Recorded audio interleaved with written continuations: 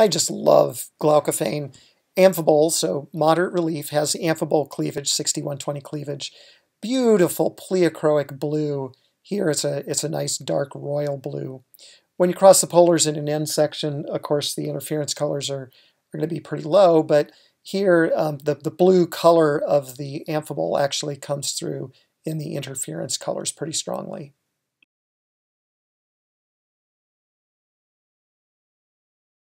Here you can see the nice 6120 cleavage again, but the cores are darker blue than the rims.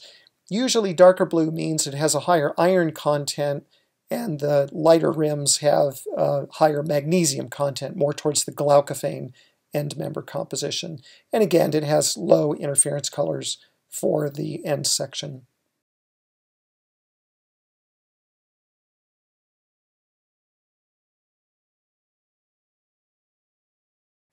This glaucophane must have a higher magnesium content because it's paler. You can also see it now that it's got this sort of pale blue to lavender um, pleochroism. Uh, across the polars, and you'll see that there are, th this particular one in the center has low interference colors, but those first order uh, purple, blue, uh, red, magenta interference colors, those are pretty typical too.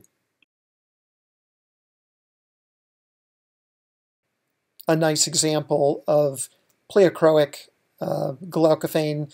The nice blue in, in the surrounding crystals, you can see some purple lavender. Uh, across the polars, and you'll see that intense first order blues and magenta uh, and orange.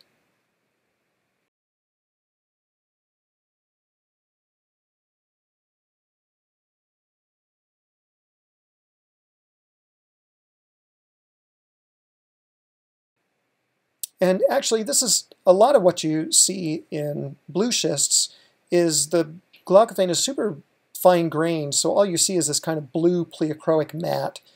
Um, in this case, those big white crystals around the edges are lawsonite. So lawsonite and glaucophane go together. They're the distinctive minerals of the blue schist facies.